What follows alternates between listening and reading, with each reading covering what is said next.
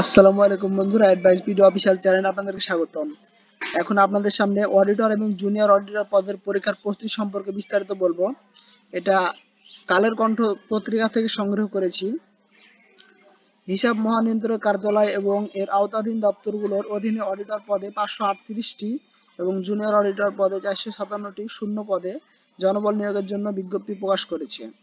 Auditor পদে আবেদন করতে হলে প্রার্থীকে স্বীকৃত বিশ্ববিদ্যালয় হতে স্নাতক পাশ হতে হবে আর উচ্চ মাধ্যমিক পাশ হলে জুনিয়র অডিটর পদের জন্য আবেদন করা যাবে। অনলাইনে আবেদনের শেষ তারিখ পাঁচ মে দুই হাজার সালে নিয়োগ পাওয়া অডিটর মিজানুর রহমানের সঙ্গে কথা বলে নিয়োগ পরীক্ষার প্রস্তুতি বিস্তারিত জানাচ্ছেন এম এ মুজাহিদ। সেটা আপনাদের সামনে তুলে ধরছি। নিয়োগ প্রক্রিয়া যেভাবে হয়, নিয়োগ পরীক্ষাগুলো সাধারণত সর্বমোট একশো নম্বরে হয়ে থাকে। অডিটর নিয়োগ পরীক্ষা সাধারণত দুই ধাপে সম্পন্ন হয়। প্রথম ধাপে প্রিলিমিনারিতে এমসিকিউ পদ্ধতি পরীক্ষা হয় সত্তর থেকে আশি নম্বরের উপর। তারপরে মৌখিক পরীক্ষা হয় বিশ থেকে তিরিশ নম্বরের উপর। তবে প্রার্থী বেশি হলে ক্ষেত্র বিশেষে প্রিলিমিনারি পরীক্ষার পরে লিখিত পরীক্ষা নেওয়া হয়। আর জুনিয়র অডিটর নিয়োগ পরীক্ষা হয় তিন ধাপে। প্রথম ধাপে প্রিলিমিনারি পরীক্ষা হয় সত্তর থেকে আশি নম্বরের উপর। দ্বিতীয় ধাপে হয় কম্পিউটার ব্যবহারিক পরীক্ষা। মূলত কম্পিউটার চালানো ও বাংলা ইংরেজিতে টাইপের গতি দেখা হয়। উভয় ভাষায় বিশটি শব্দ মিনিটে টাইপিং করতে পারলে পর্বে পাস করা হয়, টাইপিং পর্বে পাস করানো হয়। এরপরে মৌখিক পরীক্ষার মুখোমুখি হতে হবে।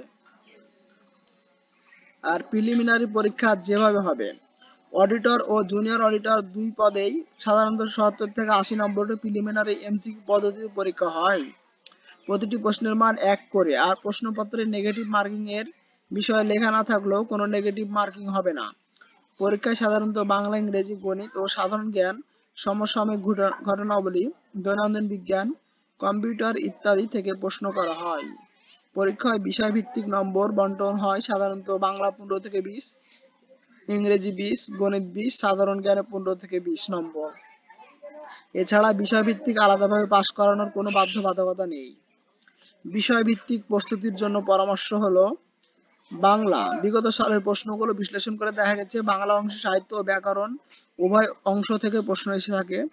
ব্যাকরণ অংশে ধ্বনি, বর্ণ, শব্দ, পদ, বাক্য, প্রত্যয়, সন্ধি, সমাস, প্রয়োগ, অপপ্রয়োগ, উপসর্গ, নত্যবিধান, সত্যবিধান, বানান বাক্য শুদ্ধি পরিভাষা, সমর্থক শব্দ এবং বিপরীতার্থক শব্দ। এক কথায় প্রকাশ, বাগধারা, প্রবাদ, বাক্য, প্রভৃতি থেকে প্রশ্ন এসে থাকে। ব্যাকরণ অংশের প্রস্তুতির জন্য নবম, দশম শ্রেণির বোর্ড ব্যাকরণ ভালো করে পড়া যেতে পারে। এবার আসা যাক বাংলা সাহিত্যে। এ অংশে প্রস্তুতির ক্ষেত্রে আপনাকে কৌশলী হতে হবে। শুরুতে বলে রাখি, বাংলা সাহিত্যের প্রস্তুতির শুরুটা হওয়া উচিত। বিগত বিভিন্ন নিয়োগ পরীক্ষাগুলোর সব প্রশ্ন সমাধান করার মাধ্যমে। একটু খেয়াল করলে দেখা যায়, প্রাচীন ও মধ্যযুগের বাংলা সাহিত্যের উপর প্রায় একই ধরনের প্রশ্ন বারবার আসে।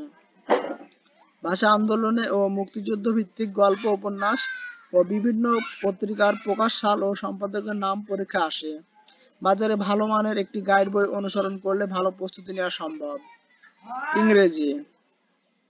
ইংরেজি অংশে গ্রামার ও সাহিত্য অংশ থেকে প্রশ্ন এসে থাকে, তবে বেশিরভাগ প্রশ্ন গ্রামার অংশ থেকে এসে থাকে। বিগত সালের প্রশ্নগুলো থেকে দেখা গেছে, সবচেয়ে বেশি প্রশ্ন আছে idiom and phrase synonym and antonyms appropriate preposition models and group verbs, correction, participle infinitive, gerund প্রভৃতি। এছাড়া গ্রামারের অন্যান্য গুরুত্বপূর্ণ টপিক থেকেও প্রশ্ন আসে। ইংরেজি ভিত ভিত মজবুত করে এই টপিকগুলো বেশি বেশি চর্চা করা যেতে পারে। প্রতিদিন কমপক্ষে দুই ঘণ্টা ইংরেজির জন্য বরাদ্দ রাখলে ভালো ফল দেবে।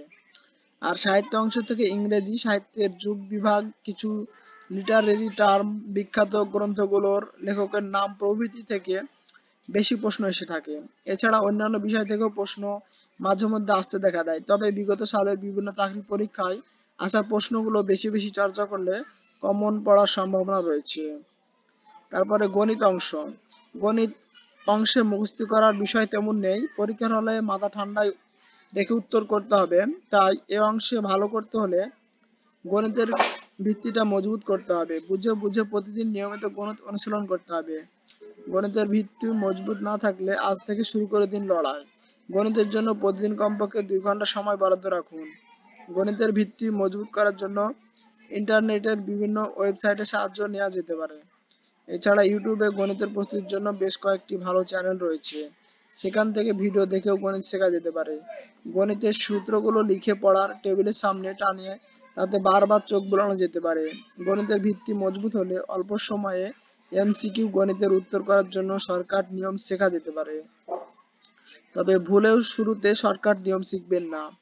বিগত সালের প্রশ্নগুলো বিশ্লেষণ করে দেখা গেছে, বাস্তব সংখ্যা, লসাগু, গসাগু, শতকরা, সরল ও যৌগিক মুনাফা, অনুপাত, সমানুপাত, লাভ ও ক্ষতি, বীজগণিতিক সূত্রাবলী, সরল, বহুপদী উৎপাদক, সূচক লগাদিগ্রাম কোন ত্রিভুজ ইত্যাদি টপিক থেকে সাধারণত বেশি প্রশ্ন আসে। সহায়ক বই হিসাবে বাজারে ভালো মানের একটি বই ও ষষ্ঠ থেকে দশম শ্রেণির একাডেমিক গণিত বইগুলো অনুশীলন করতে হবে। সাধারণ জ্ঞান। সাধারণ জ্ঞান কয়েক ধরনের প্রশ্ন এসে থাকে। স্থানীয় সাধারণ জ্ঞান, সাম্প্রতিক সাধারণ জ্ঞান, এছাড়া সাধারণ জ্ঞান অংশে দৈনন্দিন বিজ্ঞান, কম্পিউটার ও তথ্য প্রযুক্তি থেকে প্রশ্ন এসে থাকে। সাধারণ জ্ঞানে ভালো প্রস্তুতির জন্য নিয়মিত দৈনিক পত্রিকা পড়ার বিকল্প নেই। বাজারে প্রচলিত ভালো মানের একটি গাইড বই থেকে গুরুত্বপূর্ণ টপিকগুলো পড়তে হবে। যেমন ভাষা আন্দোলনের মুক্তিযুদ্ধ, বঙ্গবন্ধু শেখ মুজিবুর রহমান, বাংলাদেশের সংবিধান, সরকার ব্যবস্থা, জাতীয় সম্পদ, জাতীয় অর্জন, অর্থ বাজেট, পুরস্কার, চলচ্চিত্র, খেলাধুলা, আন্তর্জাতিক রাজনীতি, জাতিসংঘ, বিভিন্ন সংস্থা ও সংগঠন, বৈশ্বিক চুক্তি সম্মেলন প্রভৃতি টপিকগুলো ভালো করে পড়তে হবে। বিগত সালের বিভিন্ন নিয়োগ পরীক্ষা আসা প্রশ্নগুলোর ব্যাখ্যা সহ পড়তে পারলে ভালো। এছাড়া অডিটর সম্পর্কিত কিছু প্রশ্ন আসতে দেখা গেছে। কম্পিউটার অংশে প্রস্তুতির জন্য মাধ্যমিকের কম্পিউটার, তথ্য ও যোগাযোগ প্রযুক্তি বই থেকে প্রস্তুতি নেওয়া যেতে পারে। আর দৈনন্দিন বিজ্ঞানের প্রস্তুতির জন্য নবম, দশম শ্রেণির সাধারণ বিজ্ঞান বইটা থেকে প্রস্তুতি নিতে পারলে ভালো হয়। এছাড়া দৈনিক পত্রিকার তথ্য প্রযুক্তি পাতা পড়লে বেশ কাজে দেবে। ভিডিওটি যদি ভালো লাগে, অবশ্যই চ্যানেলটি সাবস্ক্রাইব করবেন। আর এই ভিডিওটিতে অবশ্যই লাইক করবেন এবং কমেন্টে মতামত জানাবেন আপনাদের মতামত। আর বন্ধুদের সাথে অবশ্যই ভিডিওটি শেয়ার করবেন। ধন্যবাদ সবাইকে ভিডিওটি দেখার জন্য।